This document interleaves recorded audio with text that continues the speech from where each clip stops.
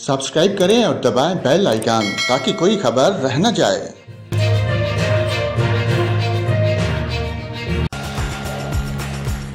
नाजरीन, पाकिस्तान और इंग्लैंड की टीमों ने कल प्रैक्टिस सेशन तो मंसूख कर दिए। अलबत् खिलाड़ियों ने होटल में टेनिस खेली और इंडोर गेम्स में भी हिस्सा लिया। कप्तान बाबर आज़म हर खेल में पेश पेश रहे। पहले टी मैच के बाद दोनों टीमों ने कल नेशनल स्टेडियम कराची में प्रैक्टिस सेशन मनसूख कर दिए। आराम तो किया, लेकिन शाम में होटल में पाकिस्तानी क्रिकेटर टेनिस खेलने कोर्ट में उतर गए। बाबर आज़म, मोहम्मद हारिस और मोहम्मद इसरैन ने टेनिस खेली, जबकि हारिस रऊफ चेयर एम्पायर बनकर बैठ गए। टेनिस के दौरान खिलाड़ी हल्ला गुल्ला करते भी नज़र आए। होटल में लगी वर्चुअल गाँव पर भी कप्तान बाबर आज़म एक्शन में रहे।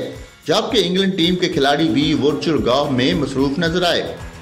पूल टेबल पर भी खिलाड़ी एक्शन में रहे, जबकि टेबल टेनिस पर भी खूब रंग जमाया। पाकिस्तान और इंग्लैंड के दरमियान दूसरा टी आज शाम नेशनल स्टेडियम में खेला जाएगा। दूसरे मैच की भी तमाम टिकट फरोख्त हो चुकी हैं।